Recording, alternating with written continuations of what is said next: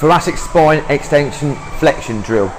On all fours, sit back a little bit on your calves, have one hand out, reach out in front of you, with one hand, hand behind your head here, come under, and then come right out.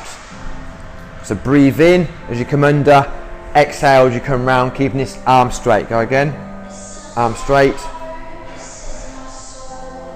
That's it.